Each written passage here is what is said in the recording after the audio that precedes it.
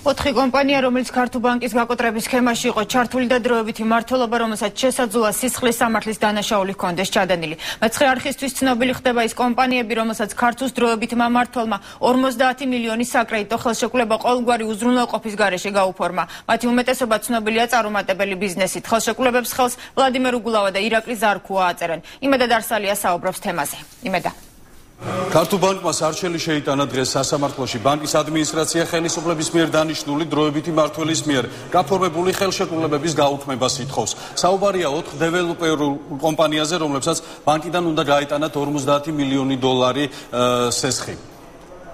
მოთხოვნა გახლავთ ხელშეკრულებების ბათილად ცნობა, გენერალური და საკრეტო ხელშეკრულებების ბათილად ცნობა და არის აგრეთვე უზრუნველყოფის მოთხოვნა, უზრუნველყოფის ღონისძიების გამოყენების თაობაზე, რომ საახსრულო ნოტარიუს აეკრძალოს საახსრულო ფურცლის გაცემა. ჩვენ დღეს თელიდევ ასახელებთ კომპანიებს ბეტა მაქსი ცენტრალური არსისი თბილისის დეველოპმენტი შეიძლება თუ არა დაადასტუროთ ანუ არ ეს ინფორმაცია მოდით ასე თქვა, დაკონკრეტებისგან თავ შევიკავებ, მე გეტყვით მხოლოდ ერთს, რომ გაფორმებულია საკრედიტო გენერალური ხელშეკრულებები 4 დეველოპერულ კომპანიასთან და 4-ვე დეველოპერული კომპანია იქნება მოპასუხე ჩვენ საქმეში.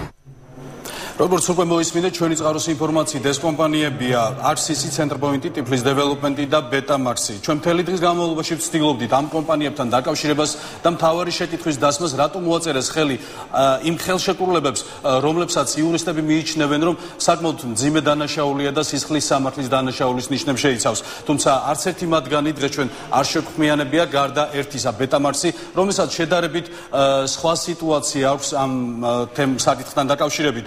ჩვენ ხვალ ამ თემას დეტალურად დაუბრუნდებით და შემორთავაზებთ. შევეცდებით შემორთავაზოთ ყველა იმ კომპანიის აზრი, რომელმაც ხელი მოაწერა დროებითი მართლობის დროს გაფორმებულ 50 მილიონიან ხელშეკრულებებს. ეს თანხა შეგახსენებთ, რომ ბანკიდან უნდა გაეტანათ. ადლობა იმედა დარსალია საუბრობდა ქართულ ბანკის გაკოტრების სქემაზე.